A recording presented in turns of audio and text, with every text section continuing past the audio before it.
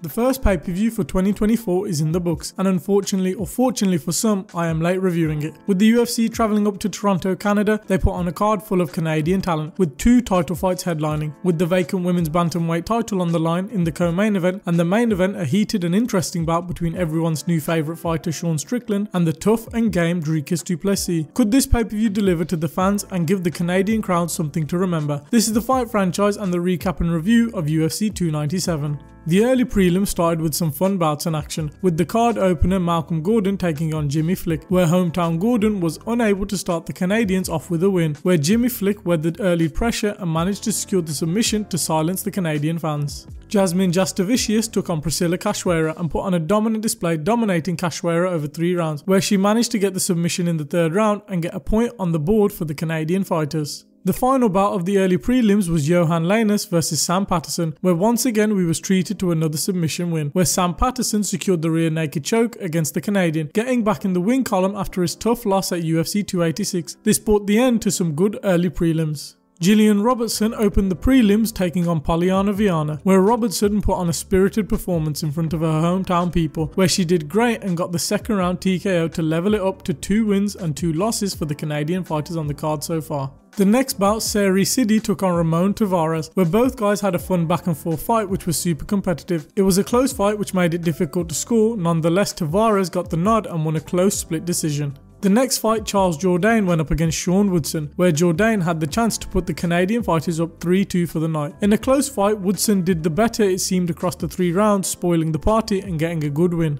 Brad Katona was up next to get a score for the Canadians and try and get a win where he was taking on Garrett Armfield. The two went ahead in a back and forth fight where Katona had the same fate as all the rest of the male Canadians before him, taking an L, losing a unanimous decision to Garrett Armfield to bring the end to some lackluster prelims. The main card started with a fun fight at featherweight with the always game Arnold Allen taking on the undefeated Movsar Evloev. The fight was very close and did cause a stir of debate online around the decision, where to me it seemed Evloev did the better work across the first two rounds, mixing his striking and grappling, but in the third round Allen was more improved, fighting with some urgency. Evloev won the decision to remain undefeated and climbing the featherweight rankings. Next up, Marc-Andre Barriault took on Chris Curtis in a bout at middleweight where we was promised action. Canadian Barriault was hoping to bring home a win for the Canadians. The first two rounds were a dud, with little to no actions, with fans booing after the end of the second round. The third round had much more action with both guys actually going for it, but the fight went to a decision, where once again a Canadian man lost on the card, with Chris Curtis securing the win.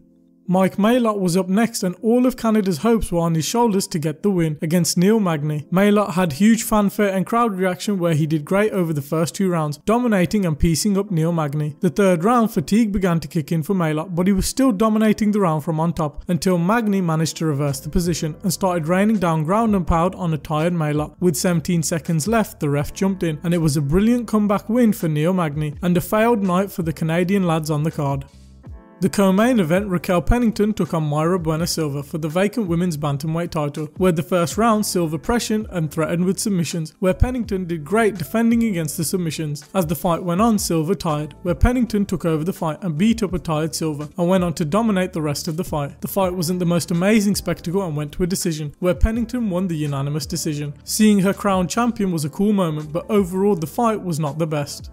The entire card wasn't the best and very lackluster and rested on the shoulders of the main event, where Dricus Du Plessis took on Sean Strickland, where Strickland came out to a superstar's welcome in Canada. Both men went to war in a fun and competitive fight, where Sean Strickland seemed to do the better work in rounds 1 and 2, being brilliant with his forward pressure and jab. DDP did try using his wrestling, but Strickland was more effective with his striking early on, damaging DDP's face. The third and fourth round, Strickland took his foot off the gas, where DDP managed to press forward, landing the more damaging shots and landing landing takedowns to rob the third and fourth round from Strickland. The fifth round was a very close round, and watching the fight live, I had no idea which way it went. The fight was tallied up and the decision went in the favour of Du Plessis, who is now the new middleweight champion. Honestly, it was such a difficult fight to score and could have gone to either man, but if I'm being honest, I wouldn't have been opposed to a draw. This fight and the drama it served up was a very good way to end a very poor card.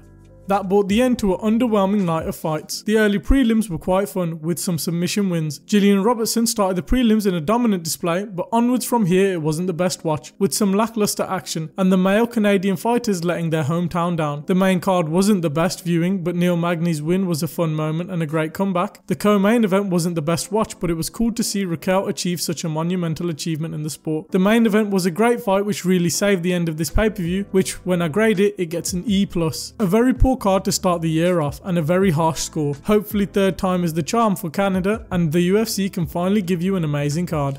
Did you enjoy the video? Let us know down in the comments below. What did you think of UFC 297 and do you think it's going to be the worst card of the year? Put that down in the comments below. Leave a like if you've enjoyed the video and subscribe for more MMA and fight content coming soon. Sorry this review is a bit late. I had no voice last week so I had to amend it and then bring this back and then obviously it will make up uh, my end of year review for the rankings of every pay-per-view of 2024. But yeah, we hope you enjoyed the video. Subscribe for more content and we'll catch you in the next one.